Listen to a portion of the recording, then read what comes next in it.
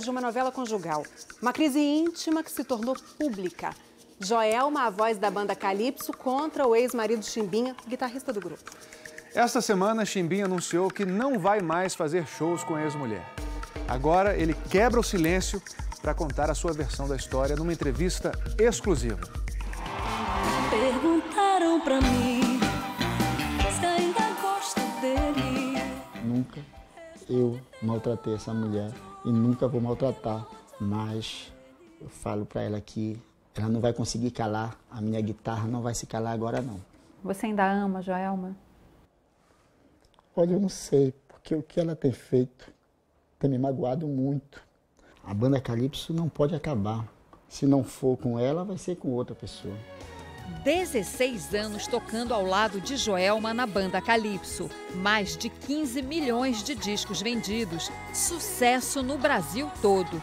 Mas a imagem que não sai da cabeça de Chimbinha foi a que o Fantástico mostrou domingo passado. Aconteceu num show em Teresina. Joelma demorou cinco músicas para subir ao palco e, quando subiu, cantou de cabeça baixa. O público xingou e jogou objetos em Chimbinha. Ele teve que sair. Quando eu voltei no palco, eu vejo a Joelma na maior alegria, aquilo me deixou muito triste, porque eu, eu vi que aquele momento era eu que estava causando constrangimento a ela.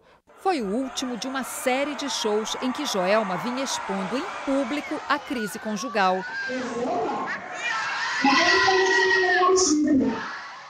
A banda Calypso acabou? Não. A banda Calypso não pode acabar. Porque a banda Calypso é um sonho que eu tive há muitos anos. E é um sonho que deu certo e vai continuar dando certo. Mas por que os desentendimentos com Joelma chegaram a esse ponto? São muitas histórias, né? Excesso de trabalho levou um desgaste muito grande. A gente não conversava mais sobre nós dois, sobre a nossa família, sobre o nosso casamento. Ela pediu o divórcio em maio. Amigável. Amigável. Tava tudo certinho, tudo certo. Mas só em agosto, o casal anunciou para os fãs o fim do casamento de 18 anos. Você traiu a Joelma? Sim, sim, isso aconteceu. Eu realmente eu fiz e, e peço perdão a todo o meu público, se eu peço perdão aos meus filhos, a ela. Você pediu perdão a ela? Pedi, já pedi. Como foi essa vezes. conversa? Como foi isso? Aconteceu isso em outubro do ano passado, quando ela pegou uma mensagem no meu celular. Aí eu pedi perdão para ela. Eu pensei que estava superado. Mas Joelma voltou atrás. Ela falou que não queria mais viver comigo. E até hoje está essa situação. Por que essa mudança? Assim, alguma coisa influenciou para que ela mudasse de atitude de uma forma para você tão surpreendente? Eu não sei. A Joelma tem algumas pessoas que, que ela considera como guru. Então essas pessoas têm uma influência muito grande em cima da, da, da em cima da vida dela. Então tem uma hora que ela estava comigo uma maravilha, bem, de repente ela saía com essa guia dela, vinha diferente. Então eu acho que a Joelma foi influenciada por essas pessoas. Chimbinha conta que passou a receber ameaças por celular. Aí eu fui na polícia, dei o celular, deixei meu celular, o delegado fez uma, uma investigação e descobriu que aquele número ficava, era o número da guru da Joelma, da, da guia espiritual dela. Joelma e Chimbinha são evangélicos. Ele diz que pediu à ex-mulher segredo sobre os desentendimentos para não prejudicar a carreira da banda. No início de setembro, Joelma foi até uma delegacia da região metropolitana de Belém para prestar queixa contra a Chimbinha. Ela disse que se sentia ameaçada. Você alguma vez agrediu a Joelma? Não, jamais. Pelo contrário. As pessoas que me conhecem sabem da minha índole. Eu nunca fui um cara agressivo, nunca, nunca, nunca.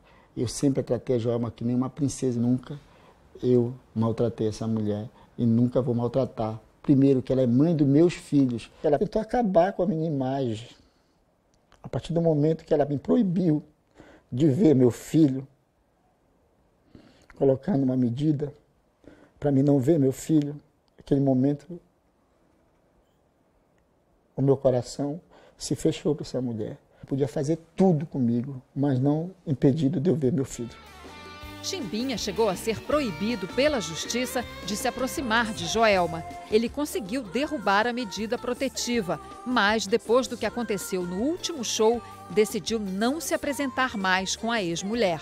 Você está sentindo muita falta disso? Olha, a primeira vez que a banda subiu no palco sem mim, eu adoeci. Me deu febre, me deu vômito, me deu tudo que você possa imaginar. O meu corpo se destruturou. E todas as vezes que a banda Calypso sobe sem mim, eu passo mal. Eu adoeço. Porque é um trabalho que eu amo. Eu amo esse trabalho. Eu fiz com tanto amor. Para os fãs, resta a preocupação com o futuro da banda. Eu tô achando um pouco triste porque eu cresci escutando, né, acompanhando a banda e foi com um casal. É muito chato, né? Porque ele não devia ter feito isso com ela, né?